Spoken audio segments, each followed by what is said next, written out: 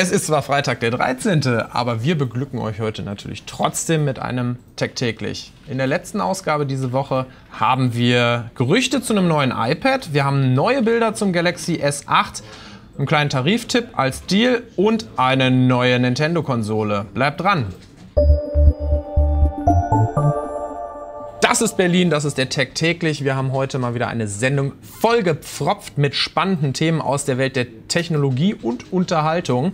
Fangen wir gleich mal an im Android-Bereich. Da hat sich jemand die Mühe gemacht, ähm, Render-Bilder oder Photoshop-Bilder zu erstellen zum äh, Galaxy S8. Wie könnte das Gerät aussehen, hat der Mann sich gedacht.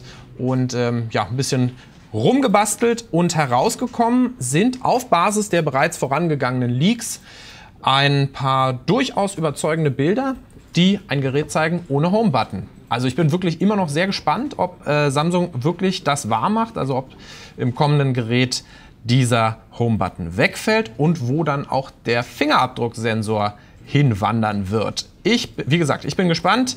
Äh, die Bilder seht ihr bei uns auf der Seite. Alle Links zur Sendung natürlich wie immer hier unter dem Video. Nintendo hat in der vergangenen Nacht bzw. am frühen Morgen unserer Zeit seine neue Konsole Switch im Detail vorgestellt. Also, dass die Konsole kommt, das wussten wir ja schon vorher. Wir wussten auch schon, wie das Ding aussehen und funktionieren wird. Aber jetzt wissen wir auch unter anderem, wann das Ding erscheint, und zwar Anfang März und wie viel das kosten wird, nämlich 300 Euro, sogar noch ein paar Euro mehr. Das ist ganz schön happig. Auch das Zubehör ist relativ teuer. Trotzdem ist die Konsole als solche vom Konzept her ziemlich interessant. Also wir haben da eine ja, ein, ein Gerät, das in eine Basisstation am Fernseher eingelegt werden kann. Man kann aber auch äh, Controller an die Seite packen und man kann auch einen externen Controller verwenden. Das Ding ist also total variabel und wenn man halt am Fernseher sitzt und weiß ich nicht, dann muss man irgendwo anders hin oder zum Beispiel mal aufs Klo oder was weiß ich, dann kann man sich einfach das Ding aus dem, aus dem Dock rausholen und dann, wo man auch ist, unterwegs weiterspielen. Finde ich persönlich ganz spannend, aber auch ein bisschen zu teuer. Was ihr zur Nintendo Switch meint und auch zu den äh, Launch-Titeln, die da auch angekündigt und gezeigt wurden, könnt ihr uns ja gerne mal hier in die Kommentare schreiben.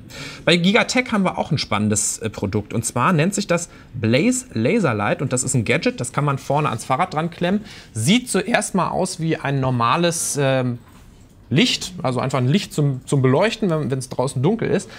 Das hat aber noch eine zusätzliche Funktion. Und zwar kann das per Laserstrahlen ein Fahrradsymbol auf den Boden projizieren. Und zwar ähm, deutlich weiter, als der, der, normale Lichtkegel dringt.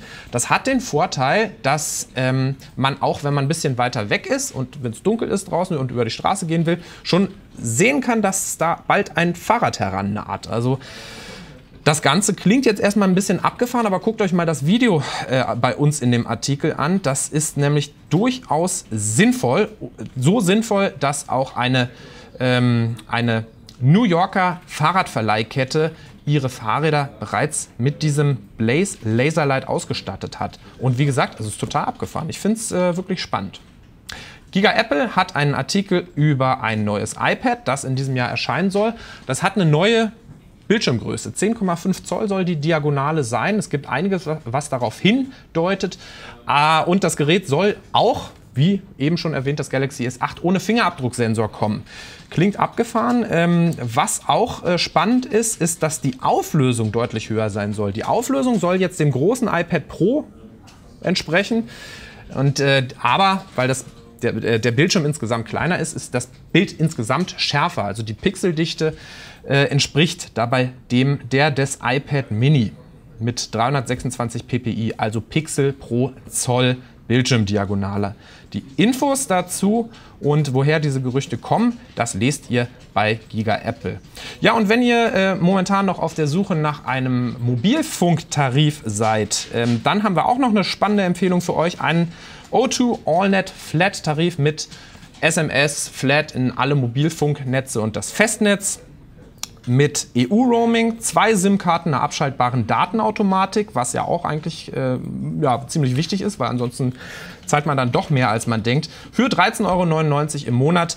Wie gesagt, alle Links zu den Artikeln findet ihr hier unter dem Video. Ich verabschiede mich schon mal ins Wochenende. Falls es euch gefallen hat, lasst, lasst uns doch bitte ein Like und ein Abo da. Und ja, bis nächste Woche. Ciao!